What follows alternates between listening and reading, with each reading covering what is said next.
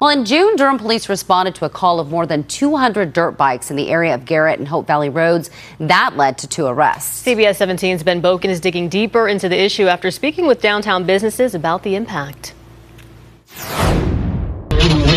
Back in early June, Durham police responded to a call of more than 200 dirt bikes in the area of Garrett and Hope Valley roads. That incident led to two arrests. Ryan Birch works at multiple restaurants downtown and says he's seen a number of dirt bike riders disobeying traffic laws.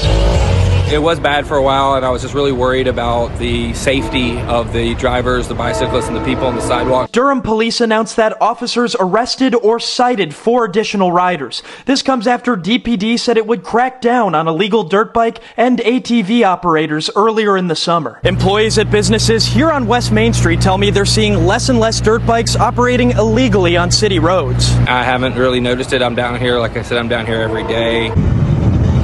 Police say dirt bikes must abide by the same laws applicable to motorcycles for those vehicles to be street legal. Pluto Olmeda also works at a restaurant on West Main and lives just minutes away at a downtown apartment complex. It affecting business as well because we do patio seating, so um, it's definitely calmed down a lot, which I'm very grateful for. DPD created a multi-jurisdictional task force to target the crimes, something Olmeda believes is helping. I haven't seen them as much lately, so it's definitely been a transitional period for how much it has been bothering me as someone who lives and works downtown. Back in June, Durham Police Chief Patrice Andrews released a statement on the issue, saying in part, It is disheartening that my officers and officers from other jurisdictions now have to divide efforts between addressing this behavior and addressing violent crime in our community. I want people to be able to have their fun and enjoy themselves, but you know, you also have to be careful and be safe and think of other people. In Durham, Ben Boken, CBS 17 News.